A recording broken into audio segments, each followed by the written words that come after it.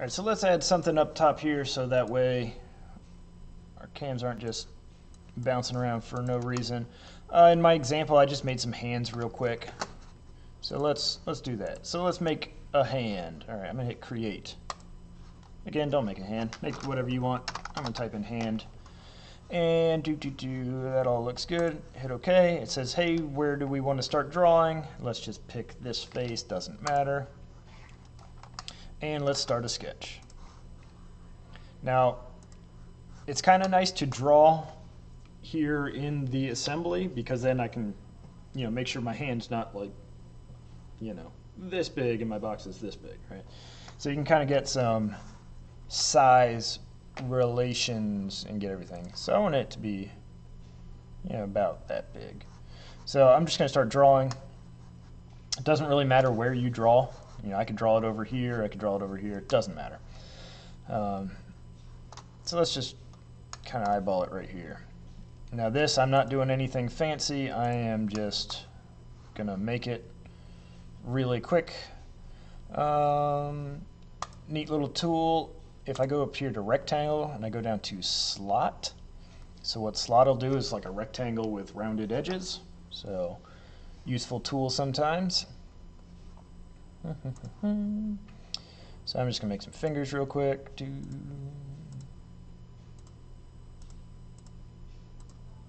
Please don't make middle fingers. Alright.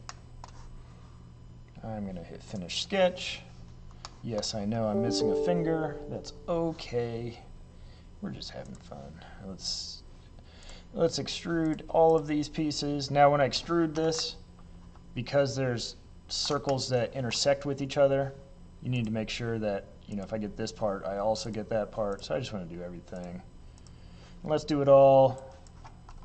Let's do 3 quarters of an inch since we have a lot of 3 quarter inch material.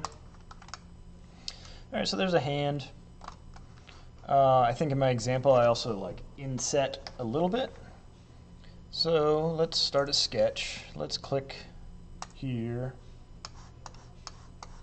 So the way I did that is if I want to get what's already there, remember you got that project geometry button. So I can project that geometry. It's going to get that outline. I'm going to use the offset, click my line, and I'm going to come in, I don't know, 0.0125? I don't know. No. Let's undo that. Offset. Point, let's say 0.1. Sure. Finish sketch. Let's extrude. Let's make that part go in.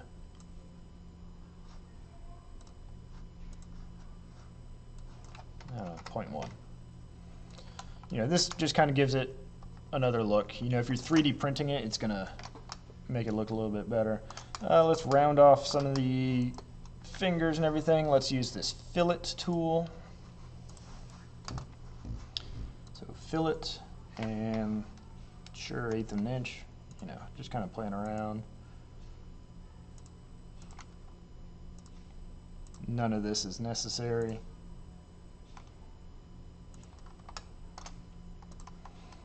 But it makes it look a little bit better. All right. And what do we need on the bottom? We need a quarter inch hole on the bottom to insert it. All right, so how are we gonna do that? How are we gonna add a quarter inch hole? I'm gonna start a sketch. Actually, here, let me return.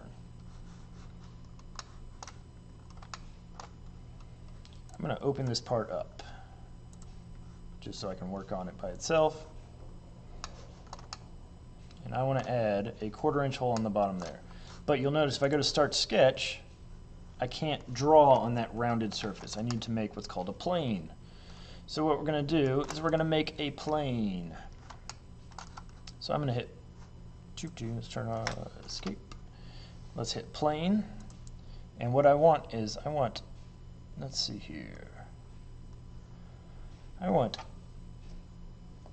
tangent to surface and parallel to a plane. This is what I want because I want to make a flat plane on the bottom to draw on.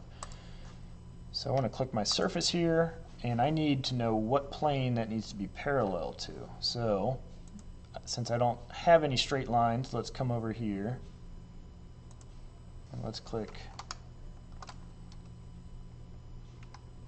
mm-hmm, mm-hmm, mm-hmm, should be working plane do YZ plane right there all right so first I click the YZ plane, then I click my rounded edge. Now it gives me a flat surface to draw on. I'm going to start a sketch. I'm going to draw on here. I'm going to make a circle somewhere on the bottom. Doesn't matter where. 0.25. I'm going to extrude that in. I don't know, let's say uh, 0.75 inches. Doesn't matter. Nope. Cut. And if you don't want to look at this plane anymore, again over here, right click. There should be a visibility button. Now that's invisible. So now if we go back to our assembly, that hole is right there.